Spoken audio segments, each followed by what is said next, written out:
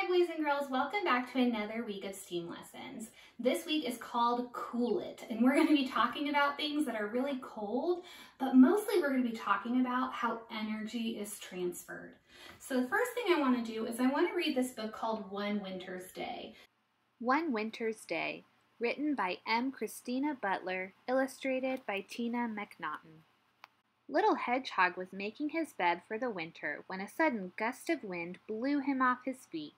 It took hold of his cozy nest and tossed it high into the air. Little Hedgehog trembled as the wind whistled around him, and he wondered what to do.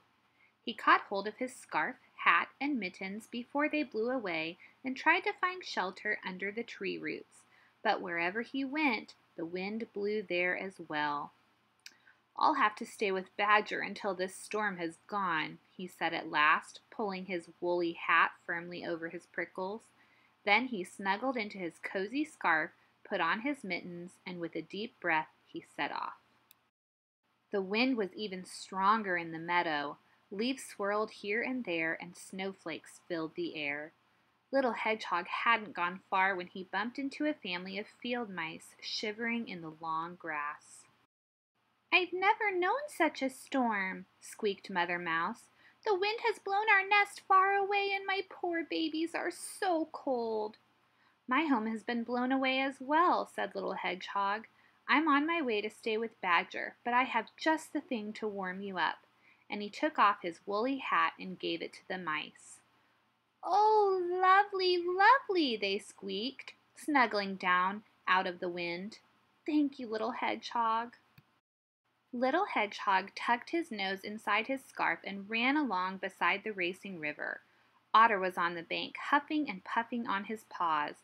Hello, Otter, shouted Little Hedgehog. What are you doing? Oh, hello, Hedgehog, replied Otter. My fur coat keeps me warm, but my paws are freezing. Here, have these, said Little Hedgehog, giving Otter his mittens. They should do the trick. Oh, thank you, little hedgehog, said Otter. These are great, but shouldn't you be at home in this cold weather? I have no home any more, little hedgehog replied sadly.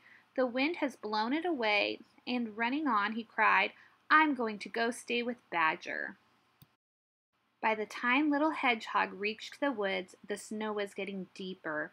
On and on he struggled, picking his way between the snowdrifts as the wind howled around him. A mother deer and her fawn were sheltering in the bushes. Oh, little hedgehog, why aren't you in your nest in this awful storm? she asked. So little hedgehog told mother deer about his nest blowing away, but as he spoke he saw that the little fawn was shaking with cold. Here, take this, he said, giving the fawn his scarf. How kind you are, said Mother Deer. Thank you, little hedgehog. Little Hedgehog pattered on faster and faster, but just as he finally saw Badger's house at the bottom of the hill, he skidded on the icy path. Help! he cried as he went bumping and bouncing through the snow. Badger was making tea when he heard a big thud outside. Whatever was that? he cried, dropping his toast. When he opened the door, a prickly snowball rolled in. Gracious me, he said in surprise. It's Little Hedgehog. Badger carried Little Hedgehog to an armchair by the fire and gave him a cup of tea. Little Hedgehog told Badger about his journey through the storm, and then, cozy and warm, he fell fast asleep. Little Hedgehog stayed with Badger until the storm had gone. As they walked to where his house had been, Little Hedgehog was very worried. How can I build a strong new nest if all the leaves and twigs have blown away, and there's nothing left? he asked anxiously. I'll help you, said Badger kindly. We're nearly there now. Surprise! came the cry when they turned the corner. Little Hedgehog gasped with delight. The animals he'd met in the storm had made him the coziest nest he had ever seen. For the kindest hedgehog in the world, they all cried together. In this story, we read about sweet little hedgehog who gives his warm winter clothes to different animals to help keep them warm. We're going to talk this week all about why things like hats, and scarves and mittens keep us warm and what that means for the energy that we have. When I'm talking about energy, I'm talking about the heat that we have in our body and the heat that we use for all sorts of things in our world. So we have some different ways of transferring heat from one object to another. The first is conduction. Conduction is when heat is passed through an object. So just like when you turn a stove burner on, gets really hot, when you put the pot on top of that stove burner, it can make whatever is inside really hot. It's transferring the heat. The next is convection. So that's when heat is passed through liquid. So if we have a really hot liquid, like a liquid in our pot, that is boiling and we put noodles in, that heat is transferred to the noodles in the pot. The final type of energy transference is radiation. And radiation is, of course, something that we hear about um, for objects that aren't really safe to touch or to handle. But radiation just means that heat is transferred through electromagnetic waves instead of through an object or through a liquid. So for example, the heat that comes from the sun is transferred to us through electromagnetic waves instead of through a physical object or through a liquid. We are going to test the different types of energy transference today with a really fun project called Penguin Rescue. So I have a block of ice with a poor little penguin trapped inside.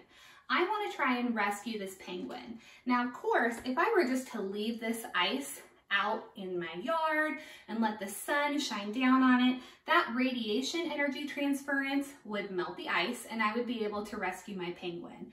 But I'm a little worried about him in there and so I want to rescue him as fast as I can. So I'm going to use some different objects to help me melt the ice faster. I have some sponges, I have water, and I have salt.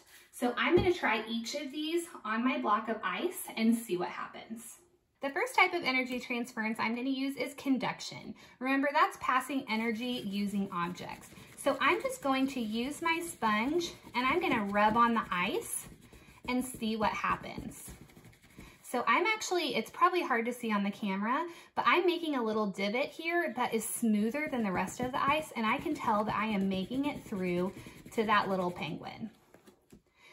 Next, I'm gonna try my salt. So salt actually has a really cool reaction. It makes a chemical reaction.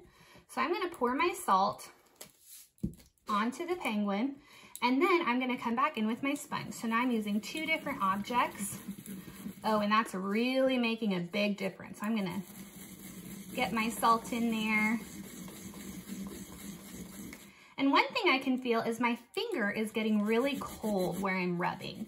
So that heat that I'm transferring with conduction is also transferring some of that coolness back to my finger. Next, I'm gonna try water. So this would be convection, it's liquid. So I'm gonna spray this water onto my penguin.